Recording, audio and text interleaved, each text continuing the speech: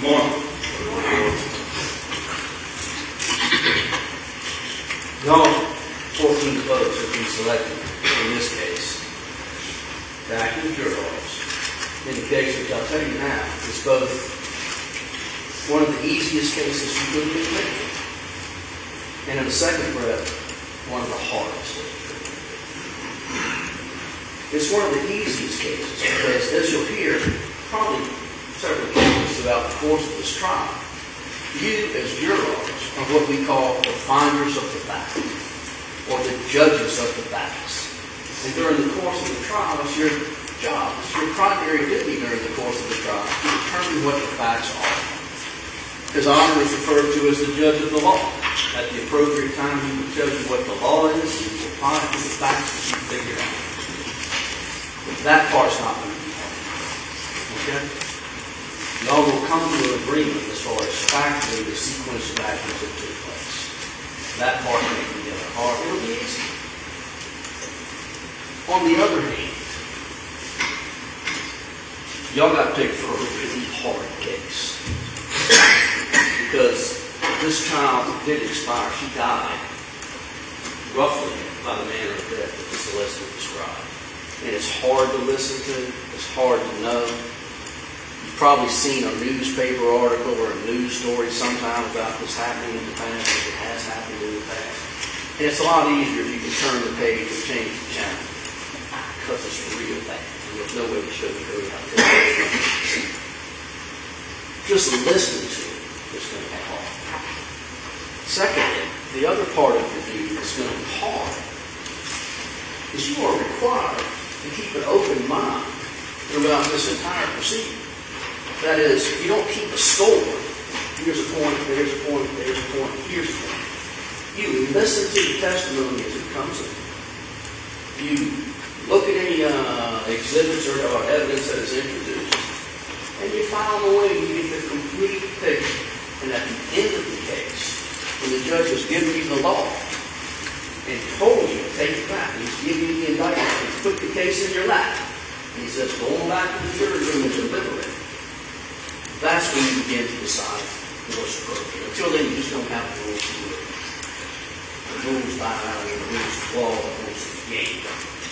So you're required to keep an open mind. And I, I can see sometimes that's hard because you, it may have been hard to keep an open mind just having heard that dramatic statement. And that was dramatic. But you got to put that aside, watch it all, and it does, gives the case to you. You apply the law, and you decide your verdict. Now, in this case, the facts are going to substantially not be in dispute, I don't believe. Back to the uh, evidence in this case will show you that Mr. King and Ms. Pangalangan had in the past, years, several years ago, been involved in a relationship, a romantic relationship. It didn't work out they split up. And maybe a month, five weeks, a month, before this tragedy occurred, they had gotten back together. They had reunited. And that, ladies and gentlemen, is one of the worst decisions that Mr. King ever made for this land. They got back together. They didn't, they didn't live together. It wasn't like that. She had a house on the other side of town. He had his place. But they were dating and they continued their relationship. And on this particular evening, the night before this child died, this Pangalangan and child spent the night. And in the morning, Mr. King, he had reason to believe that this Pangalangan had been unfaithful or messed around with another guy or something like that during the time that they'd gotten back together. And he confronted her on that, and they went back and forth a little bit. She said, yes, this happened. And at that point, he told her, now, not raging, any of that stuff, but he said, yes, it had happened. He said, I can't deal with this right now. I'll talk to you later. Y'all have to go. They went back and forth a little this Pangalangan. He said, okay. But I can't carry Cristina, as you've heard, but you know, that I can't carry her. My back is hurt. I've got a kidney issue. And Larry said, I'll, I'll carry her. And I didn't, well, you will have a chance to view this video.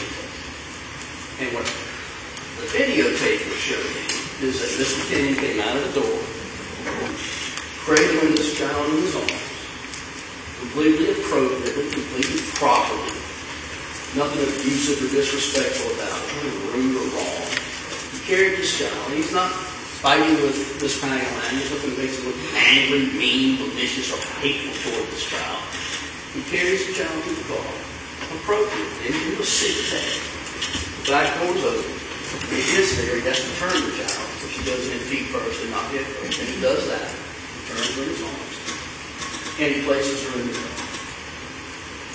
He backs up, and this, that's mom. Go over do what you need to do to prepare the child. Put the seatbelt on, do what she does, and you can see mom in the back. That's the the child. Mom steps away and closes. At this point, Mr. Kenny's out of the picture. The child is out of his house, he's in mom's car, the door's closed, he's asking to leave, y'all are on your own. She's not his child. She's not his adopted child. He doesn't pay for her, he doesn't bathe her, wash her, he doesn't feed her, he's not financially responsible for it. Mom's child was put her in the car and y'all need to. Miss turns around. The video, the solicitor records, doesn't have audio, but it's pretty easy to follow the conversation that ensues. And y'all will see that Miss Pangalangan is pleading the case. I'm sorry, can we get past this? And Larry is telling her, you need to go. And they go back and forth for a while. Now, the car's running. Larry has every reason to leave the air conditioners on. The child is in the custody of a mother, who is raised her to this. And mom's got this child. He turns and he walks into his house, and mom walks behind. Sometime later, mom comes out, goes to the car, looks like she opens the back door, perhaps checks on the child, everything okay. Gets in the front seat momentarily, gets back out, comes out another time, it's two times, checks on the child, goes back in the house, and after approximately two hours after the child has left, left the home, the two of them come out, and the tape is obvious. They can't get in the car. The car's locked, it's running, it's locked. Now whether the key fob is in the car, or lost under the bed in the house, or the dog ran off with it, it, it really doesn't make any difference. It's obvious they're trying to get into the car. Now, Mr. King at this point, he's a, he's a volunteer. He's trying to help. I mean, he, there's, there's a legal obligation for that. But he says he goes to the shed and he gets a wedge and he tries to go through the window and get the uh, car door open. He can't get it open. He did it. He can't get it open. He. Well, Can I break a window? Just bust out a window and that'll do it. It doesn't seem like an emergency at this point. This going to run the car.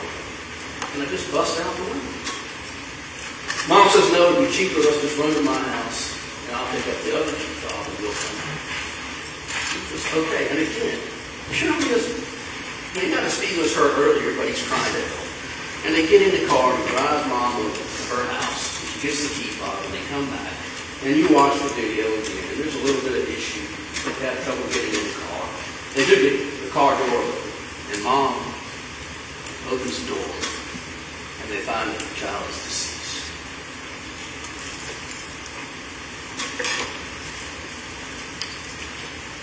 There's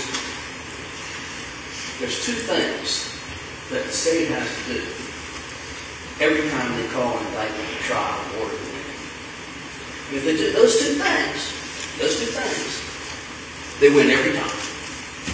If they fail on either one of those two things, they lose every First, they have to prove that the crime alleged in the indictment, the charging date, that you'll have in your degree, the crime alleged in the indictment happened. They always have to prove the crime. I can't prove the crime happened.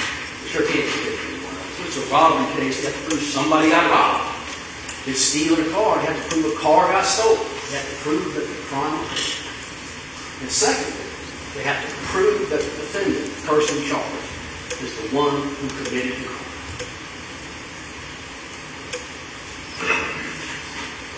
In this case, Mr. King, I'm only concerned with Mr. King. Ms. Pangalangan has her own attorney, or own defenses.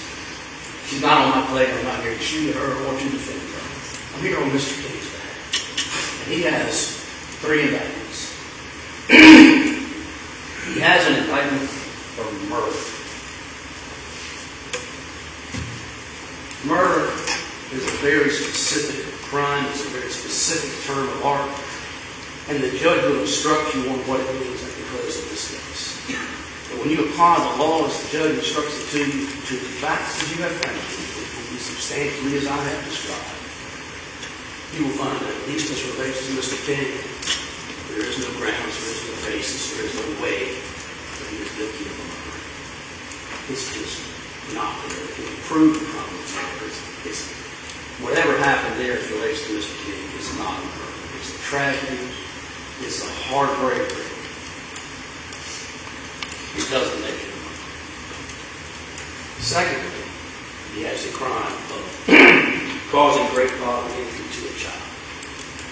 And as you watch this video, you'll see that what he does is bring this child out of the house, place the child in the back seat of the car, relinquish any control, custody, claim, obligation, or right to this child to her mother, and step away and say, don't go. And there's nothing about his involvement where he carries this child, handles this child, puts this child in the car, that's any way going to injure her. Further, you'll hear under the law, the statute doesn't even really apply to anyone. They're not the ones that it. Last, there's an indictment for conspiracy. And you'll have that indictment with you in room also.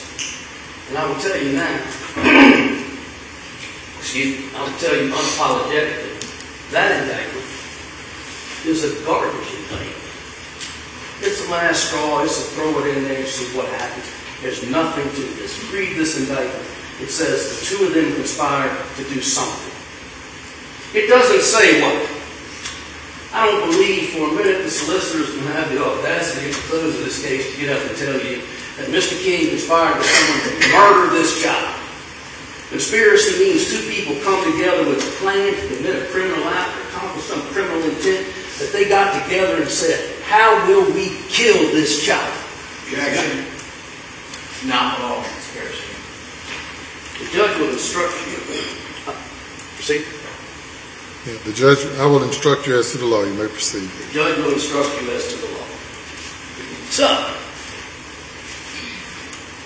they may have conspired to murder this child.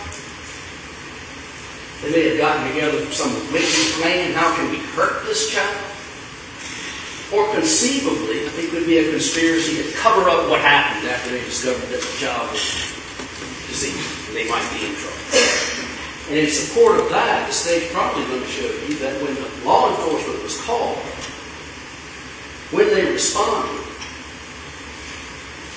Mr. King was as honest, as helpful, as straightforward as he could be. He told them what happened. He said, we were in the yard. I put her in the car. I thought the air conditioning was running. Everything seemed okay. Mom went back outside. Two hours went by. Oh my God, I can't believe this. Miss Pangalangan's story did not align with that. Her presentation was something different. And if you hear those, it's obvious they're not together on this. They are miles apart. Most of what you need to know about Mr. King's evil heart, intent, desire to hurt someone in difference to life would be revealed to you when you listen to a 911 call that day. Because he's heartbroken any allegation he's indifferent, mean, malicious falls the face of. If I've talked too long, I'm sorry. It's pretty important day. And if nothing else, please try to honor oath and keep an open mind until the end of this case and decide when the judge is. Okay? If you do that, even though I know it's hard, and I know that people have a tendency to prejudge, if you don't do that, then this goes to what a lot of us would call a sacred proceeding. That is, you are called to judge your fellow man into something more of a farce. And don't let that happen. Thank you. Mr. Phillips.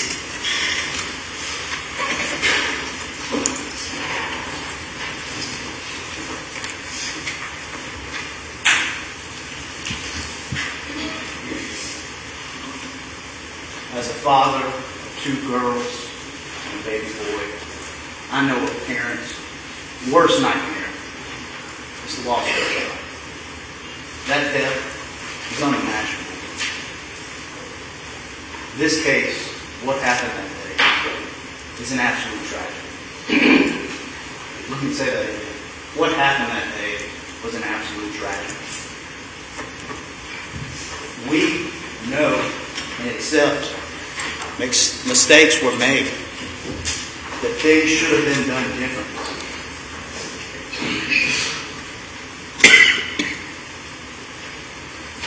There's a lot that happened in this case. There are a lot of things that you're going to see and hear that invoke raw emotion. Raw emotion. And you swore before God to ensure that you hold the government to that burden. To prove that this case was murder. This case is about a lot of but it's not murder. All the evidence from which you make a decision has to come directly from that witness stand. When you took that sworn oath, if after you heard that the government's opening, you felt like you kind of it made your mind up, you violated that I'm not saying that to attack you. I'm saying that because we haven't heard any evidence yet. And you have a chance to take a step back and do this the right way, the way you swore an oath to do. To listen to what actually occurred. We wouldn't be here if the government wasn't seeking to convict Rita of murder. She's not guilty of murder. We accept responsibility. Mistakes were made. She should have done things differently. In having that ability, it is her living nightmare. Wake up in the morning and go to bed, that's all she thinks about. Is what she could have done differently. If anybody's made a mistake and they've had that opportunity where they think a thousand times in their heads, I should have done this, I should have done that, I should have broke the window, I should have been more urgent, I shouldn't have left her in the car. She owns this. It's on her soul. This is not a murder case. This is not a murder case. It's a lot of things. One that she'll have to pay for. She'll have to pay a price. There's right. There are consequences for your action, but it's not murder.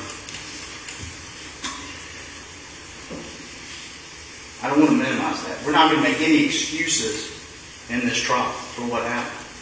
Like I said, it's, going to invoke raw emotion. It invokes raw emotion from me. Nobody's going to downplay that.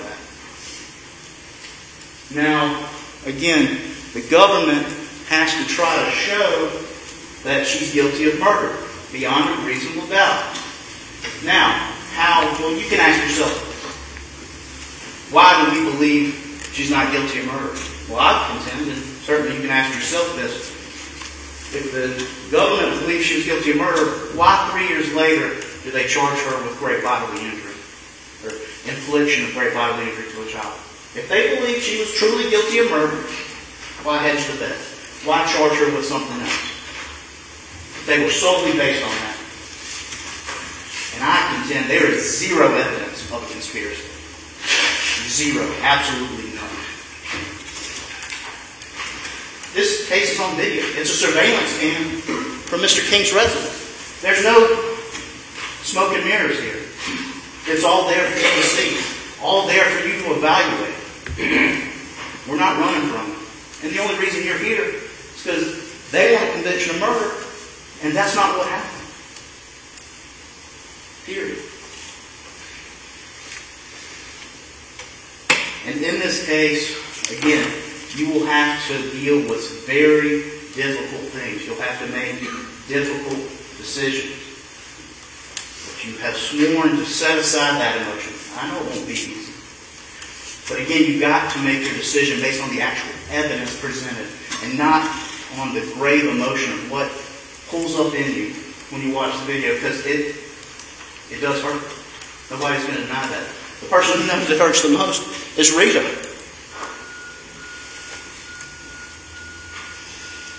Rita has two adult daughters. Rita served this community as a teacher for 25 years. She was Teacher of the Year twice. She has a master's degree. She's highly educated. You're going to hear them say that she should have known better. She should have.